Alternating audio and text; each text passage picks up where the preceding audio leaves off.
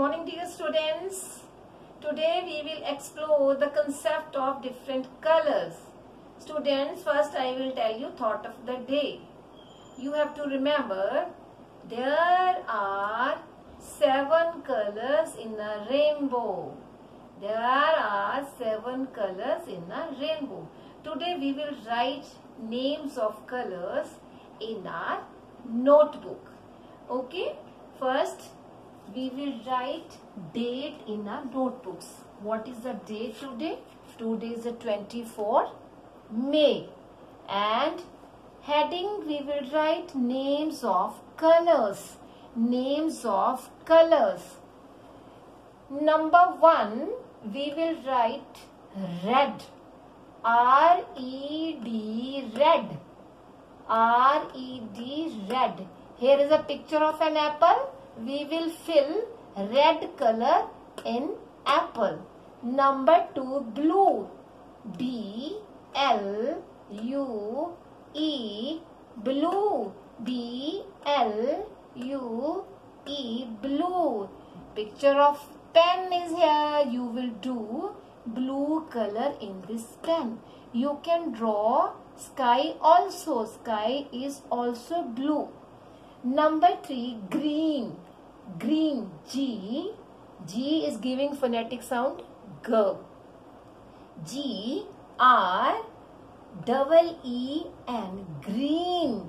Green. Leaf is green. Tree is also green. You will fill green color. You can draw more than one picture also.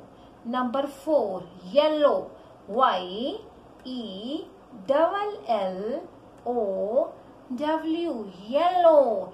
Mango is yellow in color and sun is also yellow. Number 5 black. B L A C K black. Children crow is black.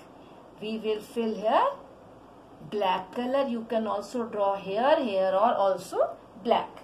Number 8 white. White W H I T E white. Egg is white, milk is white. Number 7 orange.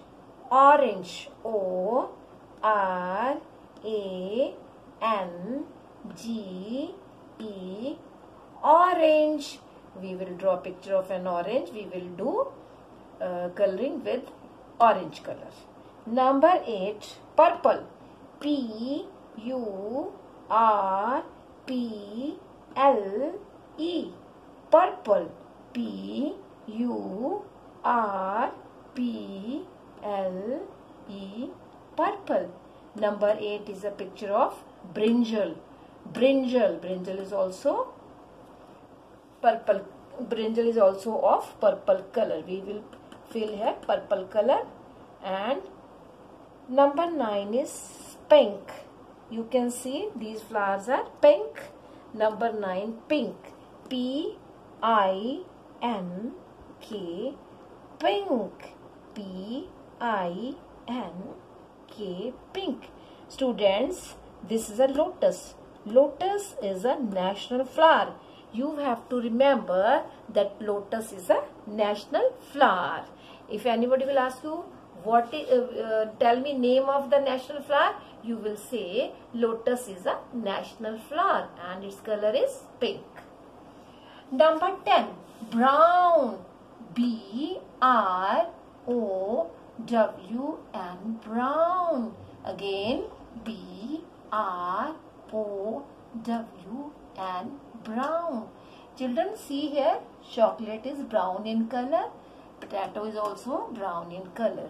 Dear students, you will write names of colors in notebook and you have to write very neatly with good formation. It's enough for you. Bye bye children. Thank you. Have a nice day.